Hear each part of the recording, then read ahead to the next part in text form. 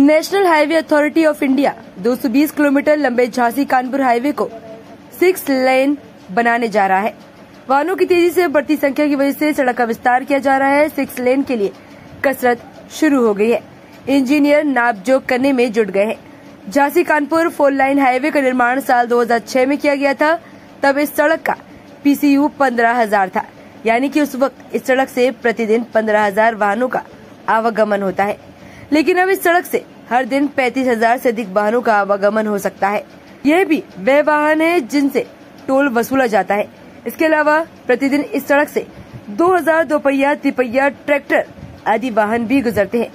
वाहनों की लगातार बढ़ती संख्या के चलते झांसी से कानपुर तक की सड़क को सिक्स लेन बनाने की तैयारी की जा रही है। एनएचआई की ओर से इस परियोजना का खाका तैयार किया जा चुका है। ज़मीन पर खाका तैयार किया जा चुका है। फोर लेन को सिक्स लेन में तब्दील करने के लिए एनएचआई को अलग से ज़मीन का अधिग्रहण नहीं करना पड़ेगा। फोर लेन सड़क की चौड़ाई इक्कीस दशमलव पाँच मीटर है। इसमें आठ दशमलव पाँच और आठ दशमलव पाँच मीटर की दोनों ओर सड़क व चार दशमलव पाँच मीटर का डिवाइडर शामिल है। इसके अलावा सड़क के दोनों ओर एक मीटर की पटरी भी है। सिक्स लेन बनने पर सड़क बत्तीस दशमलव पाँच मीटर चौड़ी हो जाएगी। जबकि एनएचआई के पास पहले से ही 45 मीटर ज़मीन मौजूद है। इसके अलावा सड़क से गुजरे बाईपास 60 मीटर चौड़े हैं। ऐसे में एनएचआई को फोर लेन में सिक्स लेन में तब्दील करने से अलग से ज़मीन का बंदोबस्त नहीं करना पड़ेगा। रोज़ाना पौने दो करोड़ रुपए मिलता है टोल प्लाजा को।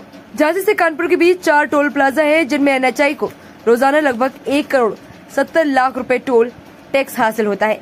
इसमें झांसी से उरई के बीच पैतालीस लाख रुपए और उरई से कानपुर के बीच प्रतिदिन सवा करोड़ रुपए टोल टैक्स हासिल होता है। एनएचआई द्वारा लगातार हाईवे का विस्तार किया जा रहा है। इसी क्रम में झांसी कानपुर फोर लाइन में भी सिक्स लेन में तब्दील करने की योजना बनाई गई है। वाहनों की लगातार बढ़ती संख्या की वजह से सड़क की चौड़ाई बढ़ाने की तैयारी है।